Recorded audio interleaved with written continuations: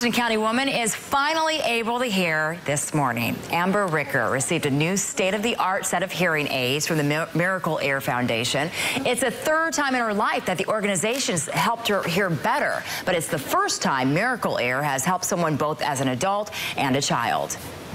It's kind of overwhelming it's in a good way. Um, it means a lot that they are that they took the time to follow up with me and show that they're still invested in me and my life. What an amazing change. Ricker teaches students with vision impairments and says her new hearing aids will help her be a better teacher. That is